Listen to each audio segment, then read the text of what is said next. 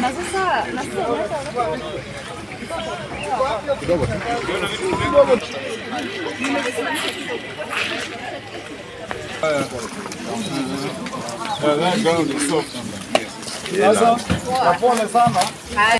Hili jambo nililisikia kutoka jana, na nikaambia watu wetu wakuje, ndio mshirikiane, tuone iko namna gani, na nimeingia mwenyewe, nimekagua, nimeona kulingana na pia maoni ya hawa wataalamu. Tuko na engineers wengi hapa, wapi hao engineers? Kujeni hapa, najua ni mzuri ijulikane ya kwamba hii kazi tunafanya pamoja na wataalamu eh, isiwe labda wanaweza watu wanaweza fikiri ati ni watu wa kubahatisha wenye wamekuja kuangalia hii kazi. Hao ni engineers ambao tulisema kwanza wafike, wengine wanafanya kule na ile national government upande wa kuangalia usalama wa, wa nyumba na mijengo, wengine wanafanya na serikali yetu ya county eh, kwa hii group yote hao engineers, na tumekubaliana, hata mimi nimeangalia na tukaona ya kwamba ili jengo la pande hii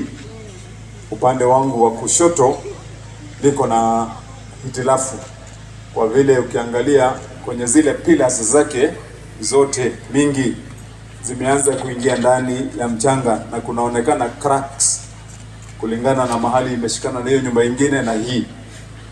Kwa vile sasa naye Mungu ametupatia maisha hii, na hii maisha haikuangi na rihaso ama namna gani jameni? na hainanga kubahatisha, na hii huwezi kwenda mahali kwa supermarket useme hii imezeeka ama hii imechukuliwa, nataka mpya. Sasa kujihadhari ndio kitu ya muhimu, na ndipo tumeelezana hapa na hii timu yetu ya kwamba ni muhimu nyinyi kama wananchi wetu tukubaliane ya kwamba kutoka hapa sasa kwenda mbele, hili jengo mpaka tupate ripoti na suluhisho ambalo litakuwa la kutuambia hii ndio mwelekeo kwa sasa hivi.